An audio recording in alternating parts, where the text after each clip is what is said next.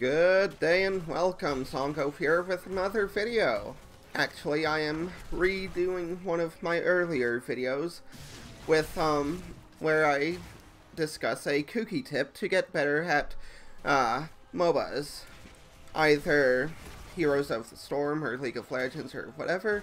This, the idea behind these tips is that it's not a hard and fast thing within the game that will help you or that you need to keep in mind, but that um a outside skill that you can bring into the game that will probably help you to uh function or play better.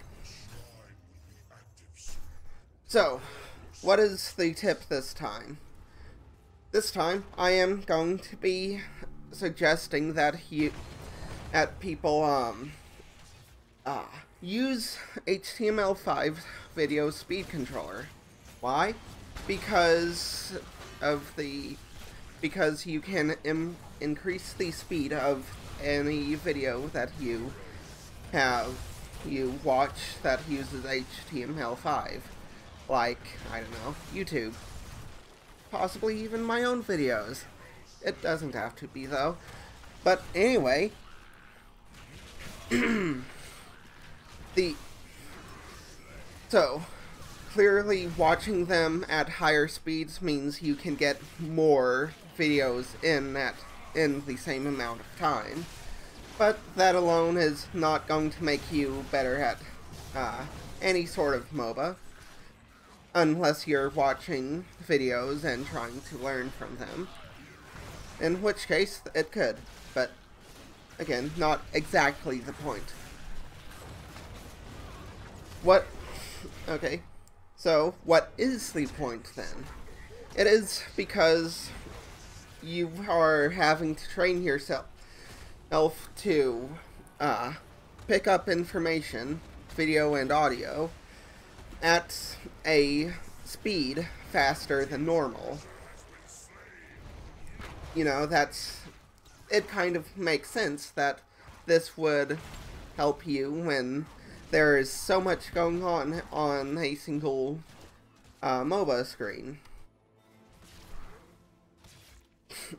In a MOBA at one time. So, yeah. Uh, and, and in fact, I have also been noticing that this uh, has been impacting myself although that was not entirely the original point. It's...